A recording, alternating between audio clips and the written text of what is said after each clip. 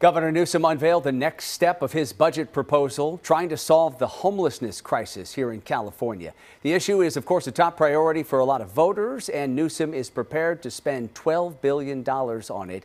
Our political reporter Greg Lee joining us now live with details on this plan. Greg?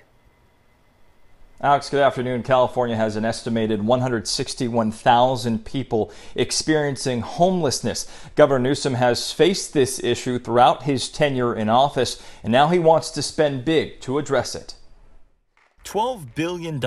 That's how much Governor Gavin Newsom wants to spend to tackle homelessness in the state. We're committing today to a five year plan to effectively end family homelessness in the state of California. The historic investment is the latest proposal from Newsom's $100 billion economic recovery plan, made possible by a $75 billion surplus. This is not just doubling down on strategy, this is an order of magnitude investment into transforming the homeless crisis in the state of California. The spending plan over two years calls for $8.75 billion to create 46,000 units of housing, a major chunk of it to expand Project Homekey, which gives cities money to convert hotels, motels, and other buildings into homeless housing.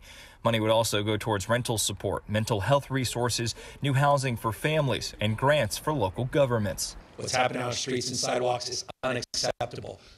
No one, no one should be pleased with that.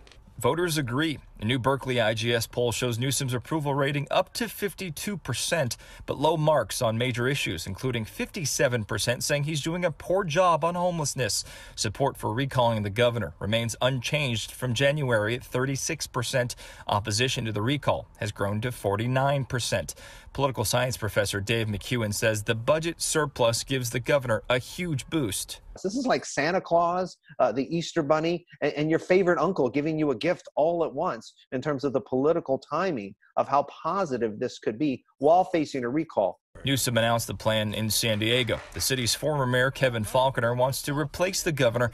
He called the proposal weak and late, saying no amount of money will solve this crisis without a leader who has the political will to buck the status quo and take bold actions to get people off the streets.